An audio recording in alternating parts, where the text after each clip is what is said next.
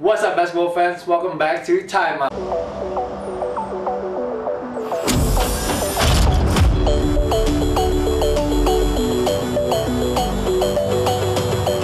Back with me Rocky Padila, I'm gonna speak in English for this video because we're gonna talk about yesterday's uh, most anticipated game between China and Philippines. So after a couple of years of waiting, finally Cleveland Cavaliers guard Jordan Clarkson made his debut with the Philippine team yesterday, but China spoiled his debut by escaping with an 82-80 win yesterday in the Asian Games. But I think that was probably the best game so far. It was so much fun watching that game. It was intense, exciting, and it kind of have that NBA NBA playoff atmosphere a little bit. But um, yeah, I think Philippines yesterday kind of slipped that let that game slip away at the end because they had an 80 to 77 lead in the last 90 seconds, if I'm not mistaken, after Stanley Pringle hit that tough, tough layup over Zhou Qi. Man, Stanley did it all. Ankle breaker, uh, reverse layup, three-pointer, tough layup over like towers, big towers of China. So shout out to Stanley Pringle, to uh, my guy. But um, from there, Philippines kind of went scoreless until the final buzzer because uh, they didn't score anymore. But China kept the composure and they finished the game with a 5-4 run, which started by a free throw by Zhou Qi.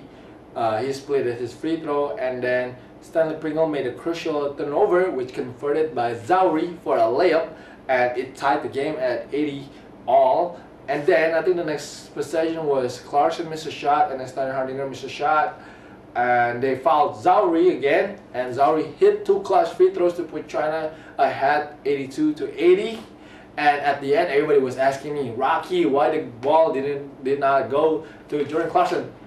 I'm not the coach. I don't know. I don't know what coach Yeng Guiao drew. I don't even know. But my opinion I think is uh, Clarkson had cramps on both feet. Uh, I don't think it's gonna be wise if the ball goes to Clarkson because I don't know if he could uh, have a lift for a jump shot. But I don't mind having the ball on Paul Lee's hand.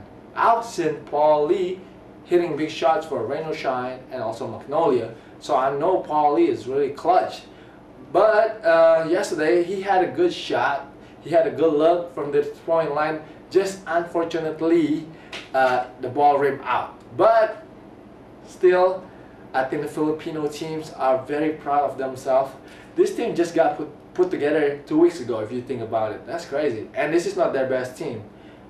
If they had Junmar, could be a different story. Man, that's gonna be fun to watching Junmar Fajardo and Standhardinger play against Wang Zelin and Zhou Qi. Man, that's gonna be incredible. But um, yeah, Coach Yeng Guiao said it was a win for him because he was so proud of the team. Uh, the team they just got put, put together two weeks ago and it almost beat China. I think that was pretty amazing. But Clarkson had 28 points. He really wanted to win. I could see him cramping probably like from the last four minutes of the game. I could see him like limping, stretching. I was like, oh man, he's having a cramp. But he wants to stay in the game because he wanted to win. So shout out to Jordan Clarkson. He had kind of a little slow start uh, because I think he is he was anxious and he was too excited uh, for playing in the first game for Philippines. So that's why I think he had a slow start. I think he only had four points in the first like eight minutes or something like that. But um, yeah, everybody played good for the Philippines. Uh, Christian Hardinger, man, I don't know what to say about him, man. He was beasting today, uh, yesterday. He had 18 points and, and, and 10 rebounds. Plus, he, he played good defense on Wang Zelin and also uh, Zhou Qi, I think. And Pringle, my man, had 14 points, while Zhou Qi had 25 points, 12 rebounds, and 7 blocks. But not only Clarkson, not only Standhardinger, not only uh, Pringle, I think Paul Lee had a good game. Uh, Beau Belga, man, Beau Belga, he played good defense on everybody yesterday. And plus the young guy uh, Poy Erram. Uh, he also played a good game also for the Philippines. So uh, they should be proud of that uh, game yesterday. I think it's, uh, it's going to be a confident booster for the team also. But the main concern for Coach Guiao yesterday was free throws. China had 39 free throws while Philippines only had 15 free throws, and Coach Yeng was joking around like said, "Hey man, if we double our free throws, we still have less free throw than them." That's true though, because they had 39 and they only had 30 if they doubled the free throw. But uh, Coach Yeng actually was in a good mood yesterday. He was very happy with the performance of his team. Man, everybody should be happy.